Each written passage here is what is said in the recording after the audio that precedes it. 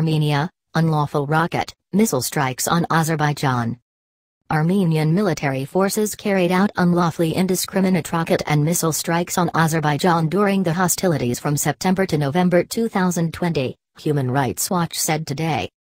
During on-site investigations in Azerbaijan in November, Human Rights Watch documented 11 incidents in which Armenian forces used ballistic missiles, unguided artillery rockets, and large-caliber artillery projectiles that hit populated areas in apparent indiscriminate attacks.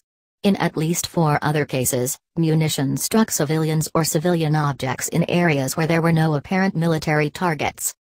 Armenian forces repeatedly launched missiles, unguided rockets, and heavy artillery into populated cities and villages in violation of the laws of war, said Hugh Williamson, Europe and Central Asia Director at Human Rights Watch. Again and again in the course of the six-week war, these attacks unlawfully destroyed civilian lives and homes and should be impartially investigated. Fighting between Azerbaijan and Armenia escalated on September 27 and continued until November 10, when the Prime Minister of Armenia and Presidents of Azerbaijan and Russia concluded an agreement to end the hostilities. Human Rights Watch investigated missile, rocket, and artillery attacks by Armenian forces that struck cities, towns, and villages in Aghdam, Barda, Fizuli, Ganja, Goranboy, Naftalan, and Tartar in Azerbaijan. This report examines 18 of these strikes, which killed 40 civilians and wounded dozens more, based on in-person interviews with 53 witnesses to attacks and 12 phone interviews, news reports, and governmental data. Human Rights Watch could not determine the lawfulness of three of the 18 attacks, Human Rights Watch also examined satellite imagery of 10 of the 17 attacks and photos and videos posted on social media from the site of 9 of the attacks, which corroborated the time and date of the attacks, and the scale of destruction. Other attacks will be addressed in future reports. Satellite imagery revealed that Azerbaijan military forces were present in the cities of Ganja and Tartar and the villages of Ghasalti and Topgaragoyanlu, which Armenian forces attacked. Azerbaijan unnecessarily put civilians at risk by locating military objectives within or near densely populated areas and failing to remove civilians from the vicinity of military activities, Human Rights Watch said. However, the presence of military objectives did not permit Armenia to use inherently inaccurate explosive weapons with a large destructive radius in populated areas.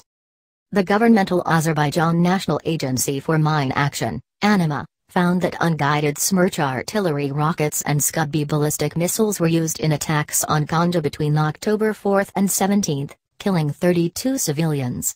Scud-B missiles, which can carry a 985 kg, high explosive warhead, can miss their intended target by at least 500 meters.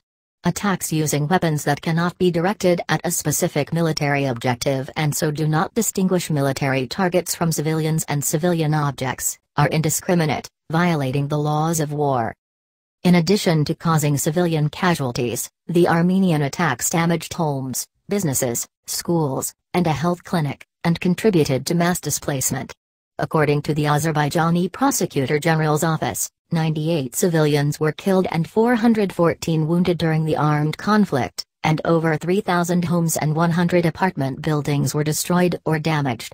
Azerbaijani government officials told Human Rights Watch that fighting displaced 40,000 people. Residents from conflict-affected areas that Human Rights Watch visited said that many people, especially women and children, had fled to safer areas. The laws of war require attackers to issue effective warnings of attacks affecting civilians unless circumstances do not permit. Witnesses to attacks said they were not aware of warnings from Armenian or local Nagorno-Karabakh forces. On October 4, Arayik Harutyunyan, the Nagorno-Karabakh president, issued tweets in English calling on civilians to avoid inevitable loss by leaving large cities, including Ganja, where military forces would be attacked. Threats of attacks on unspecified targets over an unspecified period, in a language few Azerbaijani civilians can read, were not effective warnings. Human Rights Watch previously reported Armenian attacks on Barda on October 28 that killed 21 civilians and wounded 70, and documented Azerbaijan's use of cluster munitions in at least four incidents in Nagorno-Karabakh as of October 23. The Armenian government should conduct impartial, thorough, and transparent investigations into attacks by Armenian forces that appear to violate international humanitarian law, or the laws of war. States are currently in the process of negotiating a political declaration that would commit them to refrain from using explosive weapons in populated areas. Azerbaijan and Armenia should endorse such a political declaration, Human Rights Watch said. Armenian forces fired hugely destructive, inaccurate weapons into Azerbaijan cities, towns, and villages, Williamson said. Accountability for these and other apparent violations of the laws of war by both sides is critical if the region is ever going to move beyond this vicious, decades-long conflict. On September 27, between 5 p.m. and 6 p.m., an Armenian artillery attack killed five members of the Gurbanov family, all civilians, and damaged several homes in Gosalti, Naftalan district, three witnesses said. The village has approximately 1,200 residents. The attack hit Nader Gurbanov's home and killed his father, Elbrus, 69, mother, Shefiat Gurbanova, 64, wife, Afigamirova, 39, and niece, Faden Gurbanova, 14, and his son Shariar, 13. His one surviving son is attending secondary school in Baku. Nader, 41, a military serviceman, was stationed with his regiment about 3 kilometers away. I saw one shell land near my house, and another shell a minute or two later, so I rushed home to check, he said. Nader's cousin, Mohammed Mamedov, said he arrived at the house to see Nader hugging pieces of children's bodies. It was impossible to recognize them, he said. They were charred and had been hurled in every direction by the blast. Human Rights Watch examined the severely damaged house and found several munition remnants in the courtyard that were consistent with fragments of large-caliber artillery. Nader's brother Najat, 44, said that at the time of the attack, Nader's regiment was the military objective closest to the village. However, satellite imagery indicates a large area where military forces may have been deployed that extends from the southern boundary of Gosalti and along the eastern side of the road leading to Topguragoyanlu, 6 kilometers south. Satellite imagery recorded on October 8 shows significant military activity in this area, including recently constructed trenches, fighting positions, earthen berms, tactical deployments, and the movement of military vehicles coming from the direction of the front line, just south of Topguragoyanlu, toward Gosalti. Human Rights Watch was unable to determine the intended target. However, the use of large-caliber artillery, which due to its inaccuracy is typically fired multiple times and produces blast and fragments over wide areas, renders an attack indiscriminate in populated areas. October attacks on Ganja Armenian forces conducted attacks using ballistic missiles and rocket artillery that hit residential neighborhoods in Ganja, Azerbaijan's second most populous city, on October 4, 11, and 17, killing 32 civilians and injuring dozens more. In addition, rocket artillery attacks hitting Ganja's Grand Bazaar shopping mall on October 5, reportedly wounded three people who were hospitalized, and school number 4 on October 8, which did not cause civilian casualties.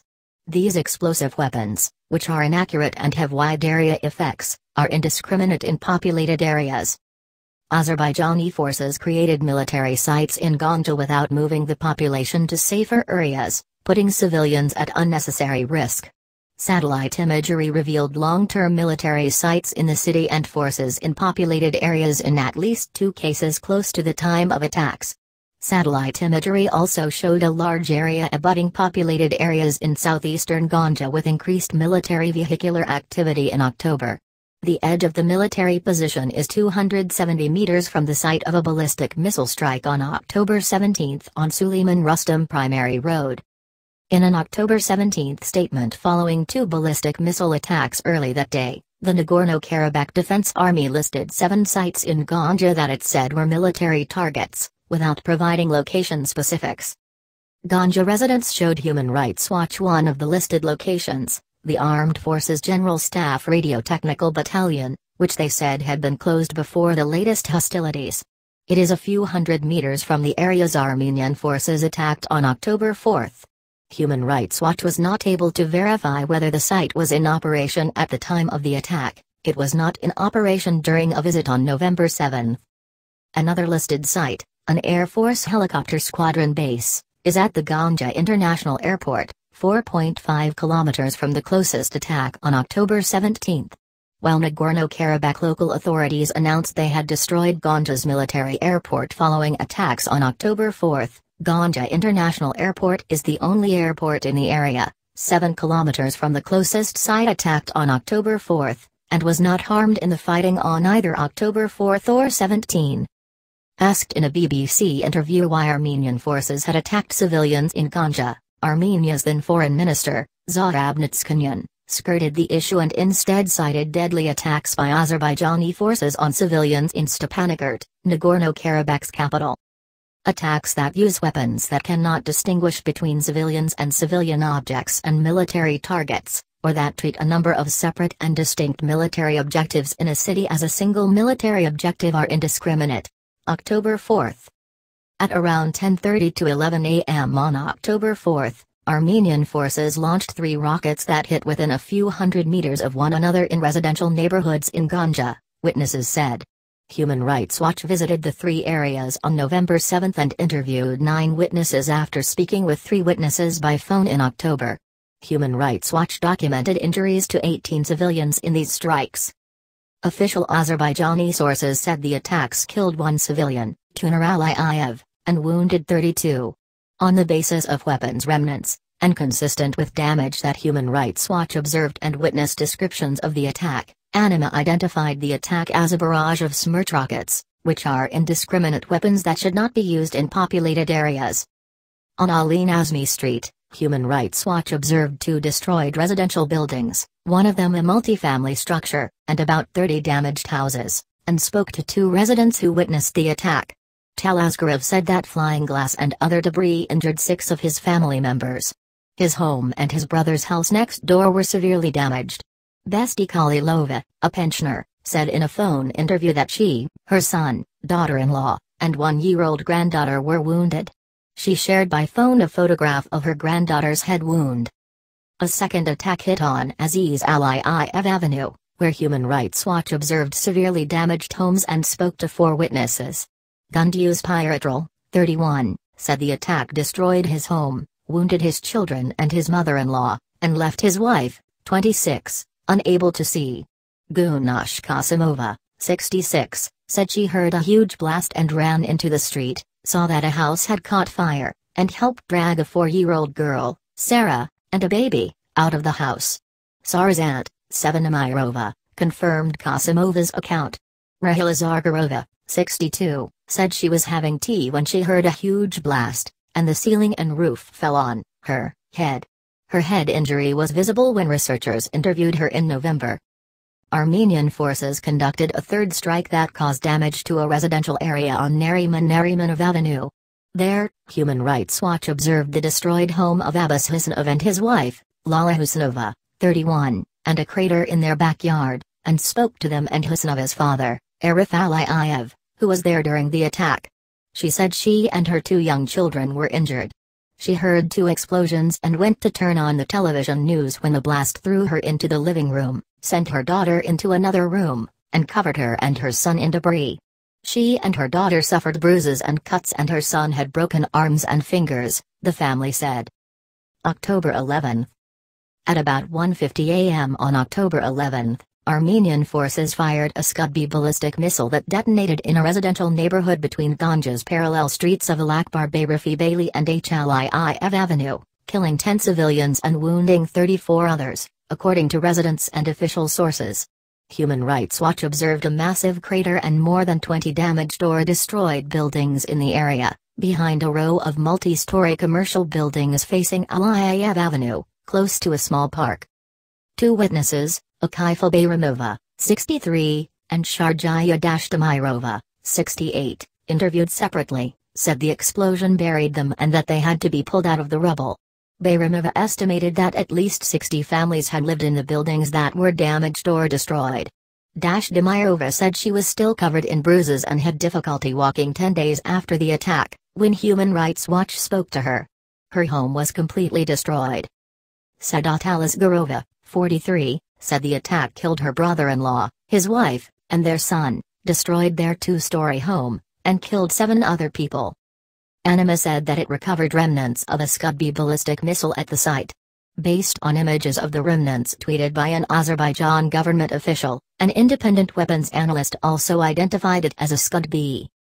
Human Rights Watch analysis of satellite imagery taken between October 9 and 16 identified military weapons and equipment at sites 700 meters and 1 kilometer from the impact crater of the October 11 attack on Ganja. Neither military site was damaged.